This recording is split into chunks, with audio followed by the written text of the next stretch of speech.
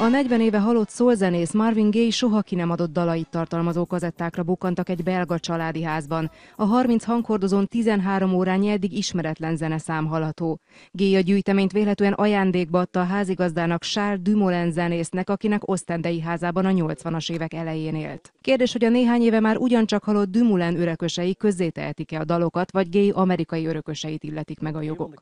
Van egy fenomenális dal az egyik kazettán, egész nap hallom a fejemben. Olyan olyan magas szinten van, mint a sexual healing, és ez csak egy a most előkerült számok közül, mondta Dumulenék ügyvédje.